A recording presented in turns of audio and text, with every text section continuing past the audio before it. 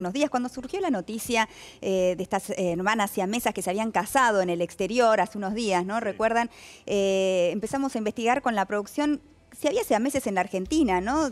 ¿Cuántos casos había? Y descubrimos que había dos y descubrimos la historia de Belén y todo lo que había detrás, ¿no? Esta mujer que, llevó adelante su embarazo eh, de Gael y de Agustín, que hoy ya tienen ocho años, contra todos los pronósticos están muy bien y está Belén con nosotros. ¿Cómo estás, Belén? Bien, bien, gracias a Dios, bien. Belén, la verdad, Estoy muy impactada de, tu historia, me imagino eh, todo lo, que has pasado hasta llegar hasta acá, ¿no? Eh, y me parece muy interesante explorar un poquito sobre lo que viviste, porque además no hay tantos casos, ¿no? Entonces me imagino que habrá sido para vos también abrir un camino. Primero, ¿cómo te enteraste que ibas a tener hijos a meses? Me enteré con seis meses de embarazo. Te, eh, dijeron que eran siameses. Sí, primero me enteré que eran gemelos a los cinco.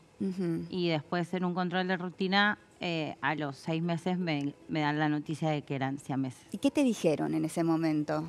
No, me dijeron que donde yo me atendía era la primera vez que le pasaba.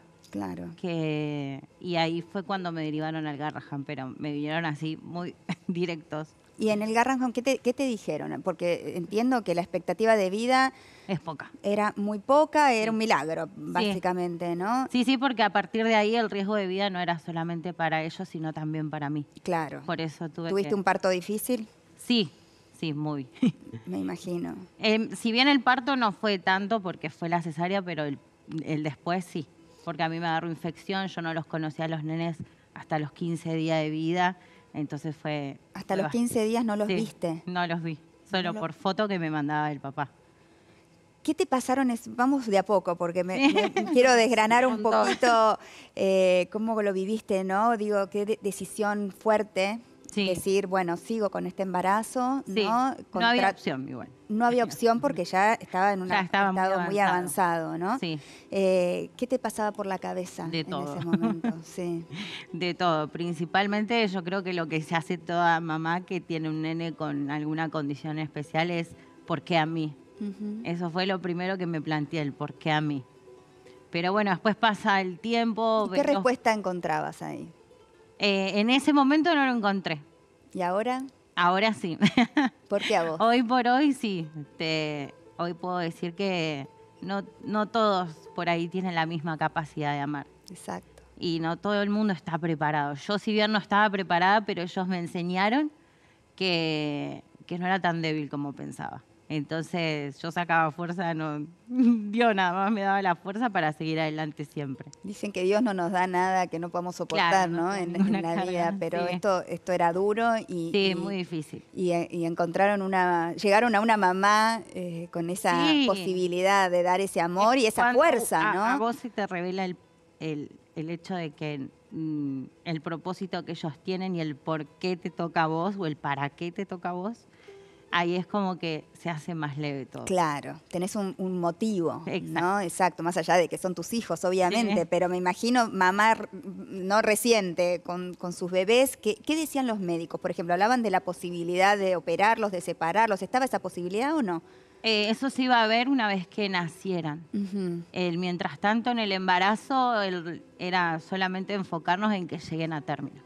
Claro, que, yo no tenga un aborto espontáneo, que no se adelante el parto, porque ellos eh, nacieron con 35 semanas, pero yo me tuve que internar dos días antes para darme unas inyecciones por el tema de los pulmones de ellos. Claro. Porque ellos están unidos, prematuro. Están unidos por la cadera.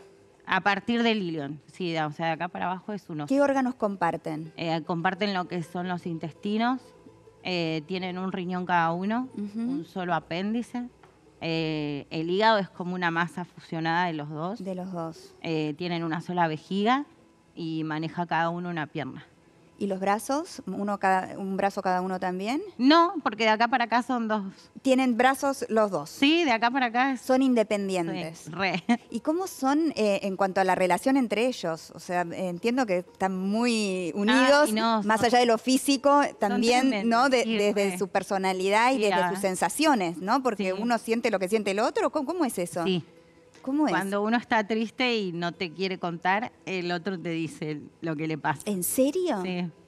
Mami, déjale, haga él, por ejemplo. Mami, dale su espacio, que se siente triste Agus. Ay, no, me, Me vuelvo O, loca. Mami, Agus está angustiado. ¿Se pelean entre ellos Ahora como hermanos? no, pero No. cuando eran más chicos, sí, era, era inevitable, porque eran bebés eh, y vos los veías y era una lucha constante que porque uno quería un juguete, se pegaban, se arañaban. Qué difícil. Sí. ¿Y fue- qué sentiste la primera vez que los viste?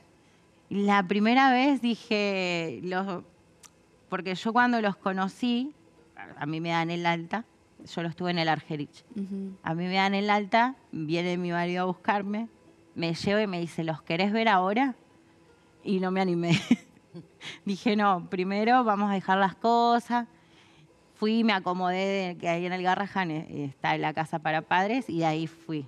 Y cuando fui los vi tan frágiles que, porque encima estaban llenos de cables y todo, que no, no, no me animaba ni siquiera a acercarme y tocarlos.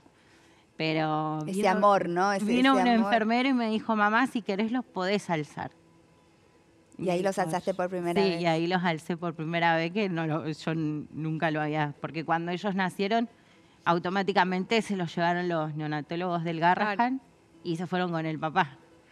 Entonces yo quedé ahí en el, en el hospital. Y, y bueno, y empezó la etapa, ¿no? Que, que es alimentarlos. eh, Ay, sí, fue muy me difícil. imagino lo difícil, claro. Uno tiene hambre, el otro llora, están juntos, pero no tienen las mismas necesidades. Claro, eso cuando pasan de neo a otro sector, ahí vienen la- todas las enfermeras y las médicas encargadas y me dicen, bueno, vamos a empezar a probar. Y empezamos, agarraron, todo perfecto. Pero cuando el tema era cuando yo estaba en mi casa que nos dieron el alta. Claro, eso nos pasa a todas Yo este, siempre. que Cuando llegas a marido para casa. ayudarme porque no le agarraba hambre a los dos al mismo tiempo, Claro. los dos se desesperaban y era un estrés para ellos y para mí. Seguro. Entonces después lo hablé con las doctoras, les expliqué todo y me dijeron, bueno, leche de fórmula. Claro. Ujú, está muy porque bien. era muy, muy difícil. ¿Y, y- y sus personalidades son parecidos entre ellos o tienen personalidades muy distintas? No, sí tienen sus diferencias. ¿Se complementan? Sí, re. Re, por ejemplo, con el colegio a uno le gusta más una cosa, a otro otra, se ayudan entre ellos. ¿Cómo fue el cole? ¿Cómo fue encontrar un cole? ¿Cómo, No, cómo es la, mirada del que- otro? que en eso, eh, con el tema escolaridad, el jardín que elegimos, las, las escuelas, todo, la verdad que excelente.